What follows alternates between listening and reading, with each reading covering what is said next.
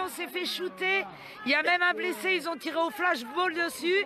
Là, ils ont gazé dans les, euh, dans les, euh, dans les apparts, dans la petite rue, là. Ouais, c'est rentré dans la fenêtre. Hein. C'est rentré dans la fenêtre, apparemment, il y a un blessé.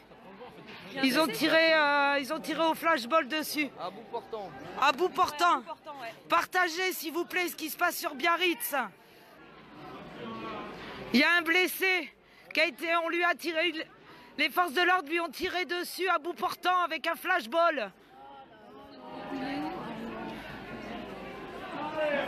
Voilà, voilà dans quelle France qu'on nous propose. Et vous qui n'êtes pas encore gilets jaunes, réveillez-vous. On est en train de tout perdre, notre liberté, même la liberté d'expression. Honneur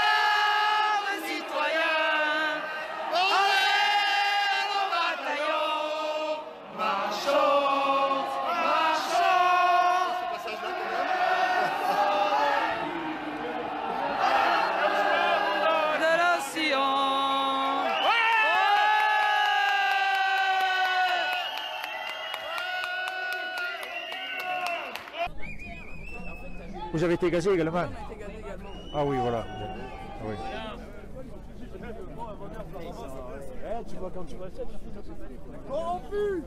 On va essayer ailleurs, mon cher Pierre. Ah oui, je, je laissais mon vélo là.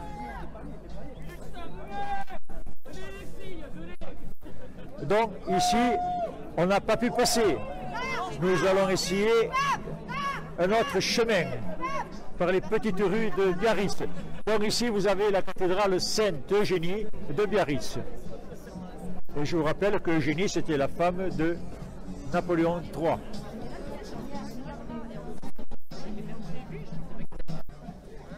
Bonjour à tous, nous sommes à Biarritz, à Biarritz où aujourd'hui Le Drian est venu rencontrer 150 ambassadeurs pour préparer le G7 de l'année prochaine.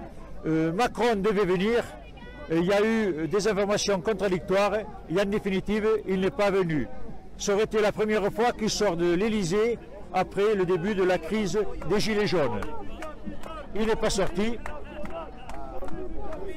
Les, Gilets jaunes ont voulu aller à la rencontre de Le Drian, représentant de Macron, et ici, ils se sont fait gazer d'entrée, sans sommation. euh, ils se sont fait gazer par un policier euh, qui, m'a semblé, qui euh, très énervé. Et il n'y a pas lieu de s'énerver, parce qu'ici, euh, tout le monde n'a que des bonnes volontés, c'est sauver la France sauver la République surtout française et rien d'autre. Donc euh, c'est pas avec des gaz qu'on va arranger cela. On ne peut que détériorer la situation.